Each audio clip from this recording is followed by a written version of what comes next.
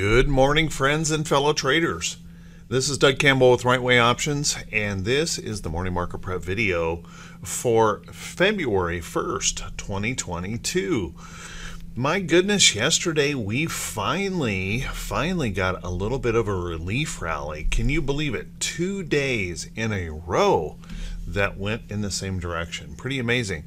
And we didn't have a massive whipsaw. We did start the day with a little bit of whipsaw yesterday, but it wasn't one of those big um, gotcha whipsaws on the day. So pretty good situation here in the market, and we did improve some technicals, but we still have a lot to recover here in the market. So what does that mean for today? Well, how about we settle in, buckle up. Let's get ready for the Tuesday edition of the Morning Market Prep video.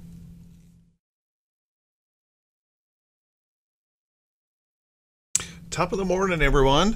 Thanks for being here. I do truly appreciate it. Let's take a look at these index charts and see if we can get some information about how we may want to approach the market for today.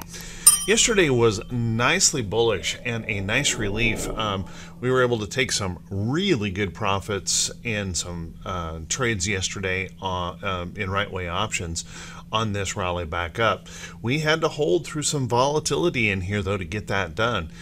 Now, taking a look at these charts, let's notice right in here, we have significant levels of price resistance in this chart, just right above. So, although we have had this nice recovery, I think it would be unwise to assume that we're just going to rip right back to the highs. We have a lot of technical damage in these charts, a lot of overhead price resistance. So, although the relief was nice, let's not be um, um, rushing in thinking that the all clear has been sounded because I'm not sure that um, happened just yet. Let's notice that we still have a downtrend in this chart and significant levels of resistance as we rally back up that we're going to have to work on. And it may require just a little bit of extra effort.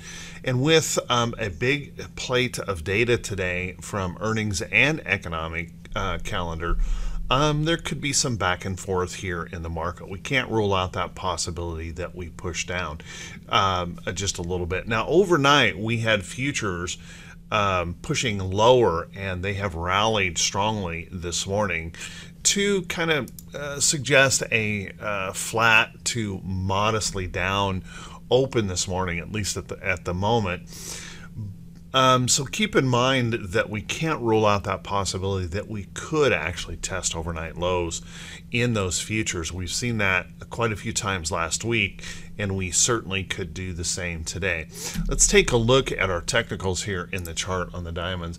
Let's notice that right at the end of the day, right at the end of the day, the last 30 minute surge, we were able to push above that 200 day moving average in the chart. But let's keep in mind, guys, we've created quite a zone of resistance, not only in price action, but in the technicals here in the chart. Notice that 50-day moving average has come down, shorter term averages have crossed down through that area. So we have a fairly significant level that we're going to have to push through. It would also be wise to realize that we're sharply off of the lows here from last Monday. So a little resting pullback might not be out of the question. Let's take a look at our SPY. Now our SPY had a better day yesterday than um, even the Dow, even though we have really big levels of price resistance in this chart overhead. Keep in mind, we still have that downtrend in play. We still have all of these resistance levels up through here that we're going to have to get through. So keep in mind, as we test these resistance levels in here, it wouldn't be out of the question to see a little bit of pullback, a little bit of rest here in the market, maybe even a consolidation over toward that downtrend. So watch that carefully. Again, the all clear has not been sounded. It was a wonderful relief but may not be uh, just the all clear being sounded here in the market. And when we take a look, um, when I say it did a little bit better job than the Dow, we actually crossed up early on the day as um, with the spike crossing up through that 200-day moving average. Now keep in mind it's pretty typical when we cross through big moving averages that we can come back and test them as support. And that would be a reasonable thing to see here in the market. And we also have that 50-day moving average and shorter term averages crossing down. So we've created a pretty substantial zone of resistance right in this area that we'll want to watch carefully. Then let's take a look at our NASDAQ. Now our NASDAQ had a nice relief coming back up yesterday.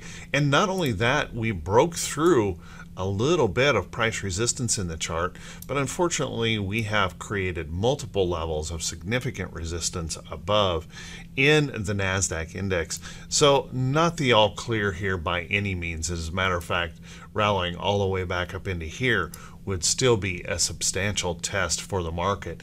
And considering that we have a downtrend here in play, uh, we've got a lot of work here. The Bulls are going to have to um, really pull up those boots um, tight and charge hard if we're going to break through some of these levels.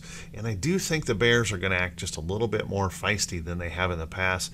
And the reason that is, is we're starting to see some of those economic numbers numbers slip just a little bit potentially seeing a demand problem in the market due to inflation and possibly even seeing that economic slowdown starting to begin in the light of rising interest rates. Now, let's take a look here at our technicals here on uh, the QQQ and notice that we didn't quite make it above that 200-day moving average. So this would be a very common place when we hit a 200-day moving average. Notice our shorter term averages drawing down here pretty quickly that we could just pause, rest, or even catch a little bit of pullback in here on the day. And that wouldn't be all that big of a surprise if we pulled back and maybe tested some support in here before we went on up. So watch that carefully here in the chart. We've got a lot of recovery here to do in the NASDAQ. And then let's take a peek at um, our IWM. Now IWM um, two days of relief rally, but remember um, in that two days we set a new low. IWM is one sick, sick index. And as you can see, sharply moving in downtrends in this chart, not looking healthy at all. And although we did catch that relief rally, this really didn't repair anything at all in this chart. At least it was a nice little bounce but it didn't repair anything. And if you take a look at the technicals here in the chart, this is a pretty dismal looking picture with the 50 crossing down through the 200, all the shorter term moving averages diving down below that 50 day moving average sharply. And we've got a nearly a year's worth of price resistance above to um, be a defense area for those bears. So a lot of work will have to happen here in the Russell before we catch much recovery. Let's take a look at our uh, VIX. Now, our VIX yesterday was floating around. It was kind of interesting yesterday. It was floating around, not really doing a whole lot. We did pull back yesterday on that move, but boy, the last 30 minutes of the day with that surge up finally pushed this down uh, below that 25 handle here in the VIX. So certainly that is a nice thing to see. We're seeing some of that fear drop out of the market. But it may be just a little bit of over, over exuberance in that rally um, back up yesterday, um, which means that we could see little bit of resting pullback that could still come in the market as a result of such a big surging move. Keep in mind we still have this upside trend in play, so it'd be fairly common for us to pull back in here and then see a little bit of rest. Um, that's just a normal chart pattern, and then we'll decide whether or not we can break this trend or break this support um, in that chart moving on lower, or if we bounce off of it and move back up. Let's take a look at our T2122. Now our T2122 had been signaling that we needed a relief. We were overdue for a relief and yesterday we certainly got it. And at the end of the day it was interesting. 30 minutes before the day we were right about here. T2122 in that last moment of the day, we just surged this back up. Now, one of the things I don't like about that is we've seen a lot of this recently, this wild speculation and this wild either running for the doors or racing into the market. And what happens when we do that, when we do these surge moves where we come from oversold to overbought in just a split second, it seems like, um, then we end up um, putting on that risk that we could quickly and harshly pull back. So watch that carefully. If we continue to surge to the upside, that could be a little bit of a problem. It would be a whole lot nicer if we take some time working our way back up. Actually build some support, build some price levels in there that we can hold on to um, in the chart. So if we find inspiration today for the upside, and there is reason that we could, we have quite a little economic data, we have quite a little earnings data coming our way, then we still have plenty of upside opportunity. But once again, I just hate to see a surge straight back up here into that bearish reversal zone. If um, the bears find some reason for inspiration, and they certainly have reason for potentially doing that with some of the data today, then we um, have opened up a pretty sizable opportunity to move back or pull back um, in the indexes. So watch that as well. Let's take a look at our T2107, excuse me, T2108. Now T2108 had a nice improvement yesterday, but I got to tell you, it just wasn't enough to really um, be all that um, inspiring. Let's take a note right in here that we've got quite a little resistance above um, in that chart, and we are still substantially downtrending here. We closed the day 25% of our stocks above the 40-day moving average. So certainly an improvement, but not exactly that warm and fuzzy we'd probably like to see and just feeling um, all energetic here in the market. I don't think we're there just yet. And then if we take a look at our T2107, got to tell you guys, this um, was a nice improvement yesterday, but didn't really fix anything. Notice that we have rallied up here. We've got some resistance in that chart above, about 28% of our stocks above the 200-day moving average. Still very, very oversold. A lot of work needs to be done here, and obviously um, this downtrend has been one tenacious downtrend to try and get through. So even as we rally back up, these resistance levels in the chart are something we're going to have to pay attention to. Then let's take a look at our T2101. Pretty commonly, when we catch a rally in the market, not selling, we get a pullback in market breadth. And that is exactly what happened here yesterday. Um, holding above that big long downtrend, holding above some price support levels in the chart. So we'll want to watch that closely. And this is that place where if if we um, find some reason for bearishness and we bounce off of that and see that surge back up, we could see some heavy selling if that were to occur. But it'd be nice to see that continue to just kind of calm down and rest in here for just a little bit. You know, I say those kind of things and what I'd like to see, but I rarely get what I like to see. You know, the market has a really um, good way of humbling us all. We know what we want, but we rarely get exactly what we want in the market. So just stay on your toes and watch this carefully. There is a lot of recovery that needs to happen here in the market before we can say, hey, the bulls are finally in control and it's all clear. Let's take a look at our um, economic calendar for today. Now, our economic calendar, we've got quite a few things here on the day that could move us substantially. Let's notice in here that we're going to get a reading from PMI and ISM manufacturing. Now, the ISM is obviously the more impactful uh, report here today, and both the estimates of the Econoday, and I'm not saying that they're right, the estimates of the Econoday are seeing a slight decline in manufacturing data. Now, what that might point to is that concern that the inflation that we're seeing is starting to impact the way consumers are spending. So we'll want to watch that pretty closely if they were hap- were to miss, and we've seen some numbers here recently where not only did they miss, they missed horribly bad.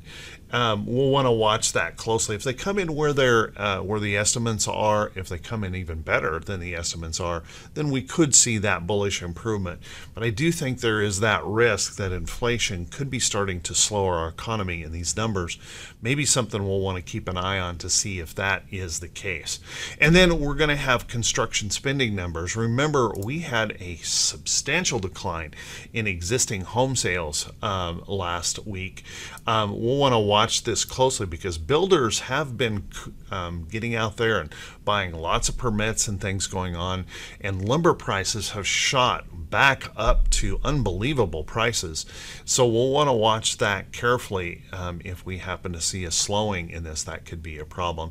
It could also be a problem if we see that over exuberance from builders because they might be overbuilding that um, supply out there um, if that is the case. Um, so watch that closely. And then jobs opening reports, that'll be obviously important for today. We'll kind of keep an eye on that. Those have been lots and lots of jobs open. We'll have to just see if they're starting to be filled or if those numbers are growing, or even if those companies are starting to pull back on those job new hires. We'll want to watch that today. Keep in mind as we move forward and plan forward tomorrow, keep in mind we've got those motor vehicle sales um, uh, mortgage applications that have been in a pretty sharp decline, as well as that ADP report and petroleum status. So we got a busy day yet tomorrow on that calendar. Let's take a look at our earnings calendar. Now we've got a busy day on the earnings calendar.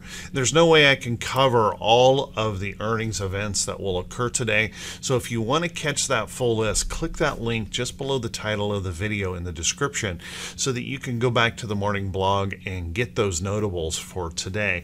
Um, take a look. We're going to get um, um, reports uh, Google, Google L, Alphabet today. That will be after the bell today. Obviously, Google can be a substantial market mover. It has been rallying up toward its earnings report and rallying into a substantial area of price resistance in the chart. So anything is possible around that earnings report, and that could set the stage for tomorrow. So remember, after the bell, um, we're going to have this big tech, and um, anything is possible with that. Now, we also have um, AMD that will be reporting after the bell today. That could be an interesting chart. This has been in a substantial sell-off, rallying toward its earnings report and rallying into some resistance areas here in the chart. So be very, very careful um, with charts like this heading into those earnings reports. We're also going to hear from PayPal. PayPal is on the list today. We're going to hear from General Motors um, later on this afternoon, I believe. We've got um, HP on that list. We've got ExxonMobil on that list. Looks like ExxonMobil's already reported moving to the upside here. Keep a close eye on that oil and energy. Unbelievably strong, and just realize every time we see that oil price go up, so does our inflation rate. So watch that closely. We're going to hear from uh, Match.com we'll want to watch that one. We're going to hear from Starbucks. We're going to hear from, um, let's see, CB. We've just got a lot of reports here. Um, Electronic Arts will be reporting. We've got Genworth reporting today. So keep a close eye on these. There are a lot of um, earnings that could move us around substantially on the day keep a close eye on those. Let's take a look at some stocks that could be setting up. But before we do that, guys, if you could do me a quick favor, if this is the first time you've seen these videos, if you could please click that subscribe button on YouTube and then also click that bell icon when it pops up so you'll be notified every time I post a video. And if you find these videos to be worthy, to be helpful, if you could please click those thumbs up buttons, leave a brief comment, and thank you so much to everyone who does take the time to do that. I do truly appreciate it. Please feel free to share these videos out there, and thank you so much. We just went over 26,000 subscribers, so thank you everyone. You guys are awesome. I truly, truly appreciate it. Let's take a look at some of these stocks. And remember, guys, these are not recommendations to buy or sell any security. As a matter of fact, be very, very careful about rushing into trades since we've extended so far up this morning. We could see that resting pullback begin at any time in the market. However, these are some charts that you might want to put on a list and keep watching for those potential trades. Let's take a look at BMY. Now, BMY had some volatility here in the market, as you can see. Um, we, we were setting up to move to the upside, and we had that volatility move with that sell-off in the market, pushing us back down into this price support. But what's interesting is over the last few days, we have recovered this very nicely, and we're holding right in this pattern. So let's watch this area right in here, if we can push on through. We may have to rest here a little bit longer. We may need a little more consolidation, but watch that carefully for that possibility of popping out in BMY moving on up here. It's a good strong dividend payer and notice overall we're trending here in this chart. So with a good strong dividend, it's kind of that defensive sector, drug area of the market where people are looking for safety and those dividend payers, and that's looking just pretty darn good. I have to also put Merck in that same category. Um, Merck had that same volatility come, come into play, pushed back into this price support. Notice overall trend is up, and we're pushing to the upside here. We're looking right in this area to see if we can push on through. Now Merck has a little bit more resistance right here in this chart, as you can see, so it may not be quite ready for prime time yet, but something to keep an eye on. Merck trying to come back up in the chart. Take a look at Coca-Cola. Defensive sector stocks, some of them had a good day yesterday, following through, and there we go again here with Coke pushing into that resistance area of the chart, recovering after the big sell-off. If we can rest up in here maybe, or if we can push on through, there might be some opportunities here in Coke, so watch that carefully if it can pop on out. We also have some pretty good uh, looks. Take a look at MKC, McCormick, an old defensive sector company, um, moving up strongly here. Look here, uh, just pushing through, breaking through resistance, pushing up strongly. I like this chart. I think any rest or pullback sets up an opportunity. Keep an eye on McCormick. Uh, VALE. Um, has been in a really nice pattern here in the market, moving in a nice little upside trend. And we're pulling back and resting, consolidating right in this area. Notice that that consolidation is holding some support over here. And if we can get that reason for bullishness, this is exactly the kind of chart that I look for. Those resting pullbacks, consolidations out to trend for that next opportunity for that to move on higher. Good looking chart good potential to maybe come around and move on higher. I think there is also a reason to be looking at uh, VMW. Now, I mentioned VMW yesterday, tried to pop a little bit, didn't quite make it yesterday and get going here. But notice we have a very good pattern here running up in a trend, pushing through right in here and this little resting pullback in here toward trend and we could then attack this gap up in here that resistance to the gap and then maybe even work to fill that gap to the upside. This is what we call a rounded bottom breakout pattern. And um, my good friend Rick Saddler created or um, named this pattern and created the uh, strategy to trade it. And I got to tell you, it's a fantastic strategy to learn to trade. Um, and that's just that breaking back above that 50, proving to hold it, and then we stretch out here and seek out that 200 day moving average to the upside. So uh, VMW looking very, very good overall. There are quite a few other stocks out there that are extremely oversold. Um, and then there are stocks that are showing lots of potential bearishness. Take a look at Pfizer. If you're looking for a short trade, um, one of the members actually brought this up yesterday. Beautiful, beautiful chart. Um, and you know, I got to tell you, it's one of the advantages of being involved in a community of traders like that because all of these trained eyes on the market, and sometimes they catch things that I haven't even seen yet. This is a beautiful short setup where we pushed up into that 50-day moving average. Notice that 50 is starting to roll over. We call this a blue ice failure. I talked about the rounded bottom breakout, and this is just the opposite of that pattern where we fail the 50, rally back to that resistance, and then we potentially see that shorting that can come into place and push us back down toward that 200 day moving average. So watch that one closely if you're looking for a short trade. So with that, everyone, hey, I want to wish you all a fantastic day. I want to wish you great results in your trading. Thank you so much for being here. I do truly appreciate it. We'll see you right back here bright and early Wednesday morning. Have a great day, everyone.